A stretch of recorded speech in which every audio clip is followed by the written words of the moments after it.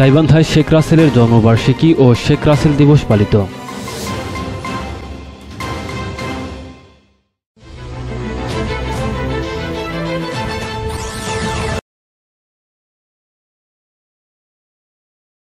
আসসালামু আলাইকুম।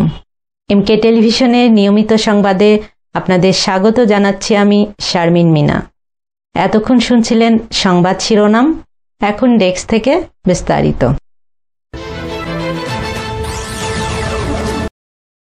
গাইবান্ধায় শেখ রাসেলের ষাটতম জন্মবার্ষিকী ও শেখ রাসেল দিবস পালন করা হয়েছে। বুধবার দুপুরে জেলা পরিষদের আয়োজনে নিজস্ব মিলনায়তনে এ উপলক্ষে আলোচনা, কেক কাটা ও দোয়া মাহফিল অনুষ্ঠিত হয়। এর আগে শেখ রাসেলের প্রতিকৃতিতে পুষ্পস্তবক অর্পণ করা হয়। আলোচনা সভায় বক্তব্য রাখেন জেলা আওয়ামী লীগের সভাপতি ও জেলা পরিষদ চেয়ারম্যান আবু বকর সিদ্দিক, পৌর মেয়র মতলুবুর রহমান ও প্রকৌশলী সিরাজুল ইসলাম সহ আর অনেকেই। বক্তারা বলেন, পঁচাত্তরের পনেরো আগস্ট বঙ্গবন্ধু ও বঙ্গমাতার সাথে তাদের পরিবার পরিজনকে নৃশংসভাবে হত্যা করা হয়। নিষ্পাপ শিশু রাসেল সেদিন খুনিদের বর্বরতার হাত থেকে রেহাই পায়নি। তারা রাসেলের জন্মদিনকে বাংলাদেশের শিশুদের জন্য একটি বিশেষ দিন উল্লেখ করে বলেন, ছোট্ট ওই শিশুটি রাজনীতি বা ক্ষমতা বুঝত না। বাবার মতোই সহজ সরল ছিল তার অন্তর। সবাইকে ভালোবেসে আপন করে নেয়ার ক্ষমতা শেখ রাসেলকে আলাদা পরিচয়ে চিহ্নিত করে।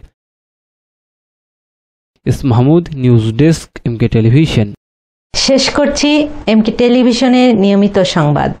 এতক্ষণ সাথে থাকার জন্য সবাইকে অনেক অনেক ধন্যবাদ।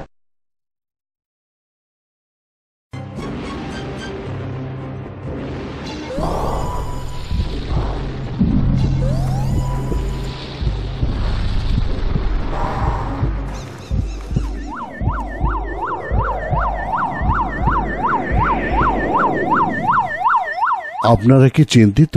আর চিন্তার কারণ নেই। আয়ুর্বেদিক চিকিৎসাই এখন যুগ উপযোগী।